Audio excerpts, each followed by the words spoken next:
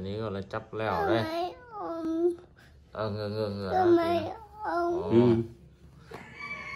khó chịu lắm đó không ạ? đi á. khó chịu. Ừ. mấy ông tuần rồi mà không dư mới đi đấy hả? Đâu là cứ bây giờ họ bị chỉ cho. À dư họ mới bay cho. Vâng đó là chứ còn mà biết trước thì lại đi đã lâu rồi. Ừ, dạ dạ. Chắc là họ điều trị đấy rồi biết rồi. Đó là biết khỏi rồi cho nên là bay cho đến đấy đúng không còn mưa còn mưa có hai đứa hai Ờ. đứa này rồi à tức là hai đứa cũng bị cái ní hai đứa là của con mưa Rồi. ba hai đi hai lên nhá chơi. Ừ. Thì hai bay chơi đi chứ. À rồi rồi.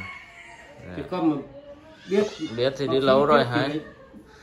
rồi chứ vấn đề cái đấy làm trắng cho không bị tái đi tái lại nữa luôn đấy đây thì những cái nha. trường hợp mà bị à, cắt lẻo như thế này nhé thì bên mình à, sẽ trích lệ và nặn máu cái huyệt à, phế du ở hai bên như thế này. Và cái huyệt à, ở trên đỉnh à, vành tai nha mọi người nhé. Đấy, thì mình à, trích lệ xong mình nặn máu thì sẽ được nhé.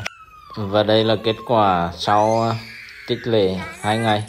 Thì bệnh nhân quay tại lại khám này. Thì hiện tại cái chóc ở trên mắt của đứa bé là đã hết rồi nha mọi người nhé. Không còn nữa, không đau, không ngứa gì nữa đâu nhá